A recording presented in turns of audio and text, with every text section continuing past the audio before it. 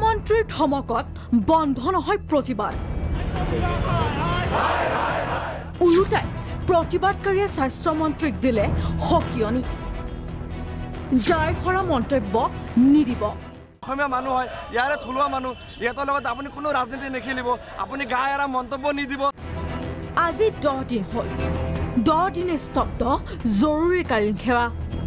ৰাজ্যজুৰি হাহাকাৰ ৰোগীৰ কিন্তু বিষয়টো মীমাংসা কৰিবলৈ তিলমানো গুৰুত্ব দিয়া নাই স্বাস্থ্যমন্ত্ৰী ডক্টৰ হিমন্ত বিশ্ব শৰ্মাই। ওলোটাই স্বাস্থ্যমন্ত্ৰীয়ে দিছিল বিকল্প ব্যৱস্থা লোৱাৰ ধমক। বিষয়টো G V K E M R I আৰু কৰ্মচাৰীৰ মাজত। আমি একো কৰিব নোৱাৰোঁ। পিছে স্বাস্থ্যমন্ত্ৰীক ওলোটাই প্ৰশ্ন প্ৰতিবাদকাৰীৰ।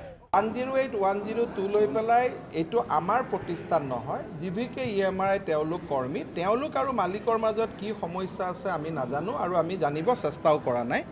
আমি তাৰ চিন্তা কৰি আছোঁ কাৰণ এই সেৱাটো যে মানুহে এনেকৈ ধৰক আজি আমি দুহেজাৰ টকা বঢ়াই দিলোঁ অহাকালি আকৌ বন্ধ কৰি দিব চাৰি হেজাৰ টকা দিয়ক অহাকালি আকৌ বন্ধ কৰি দিব ছয় হেজাৰ টকা দিয়ক। এবাৰ যেতিয়া মানুহে আন্দোলনৰ টেষ্ট পাই যায় সিটো নেৰে আৰু আন্দোলন জীৱিকা ই এম আৰ যদি প্ৰচলন কৰিছে তেতিয়াহ'লে জীৱিকা আৰ এটা ব্যক্তিগত অনুষ্ঠান। তেখেতসকলে বিনামূলীয়া সেৱা দিব নোৱাৰে। তেখেতসকলে আজি অসমত বিনামূলীয়া সেৱা দিছে কোনে দিছে? চৰকাৰে দিছে। জীৱিকা আৰ পইচা কোনে দিছে চলাবৰ কাৰণে? অসম চৰকাৰে দিছে। গতিকে এইটো চৰকাৰী আঁচনি হয়নে নহয়? হিমন্ত বিশ্ব শৰ্মা আজি আহি আমাক কওক। এইটো জীৱিকা মেটাৰ হয় এইটো আমাৰ মেটাৰ নহয় ইয়াত আমি সোমাব নিবিচাৰোঁ।